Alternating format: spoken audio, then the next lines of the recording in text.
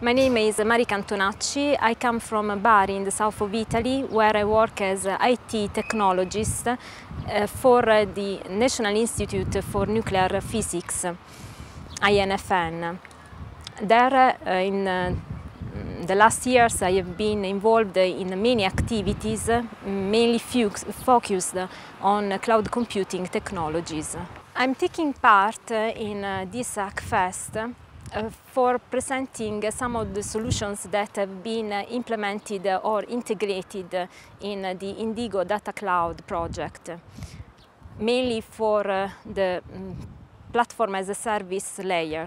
Indigo is an European project started last year that aims at uh, developing an, an advanced and complete uh, data and computing platform for scientific communities. Indigo uh, is a challenging project uh, that uh, addresses the main uh, technological gaps uh, that today prevent scientific communities from fully exploiting the several data and compute distributed resources.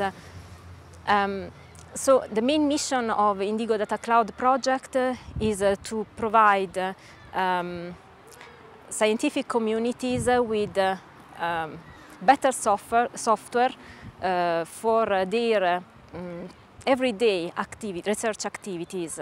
The solutions and the services provided by the Indigo Data Cloud platform uh, will allow scientific communities uh, to access in a transparent and powerful way um, the data and computing distributed resources. Scientific communities uh, for sure will uh, um, will benefit from the advanced uh, services provided by Indigo Data Cloud platform such as the uh, federated authentication, uh, the improved capa capabilities in geographical scheduling of uh, distributed resources, the standard interfaces both at IaaS and PaaS level, and the support for data federation and data sharing.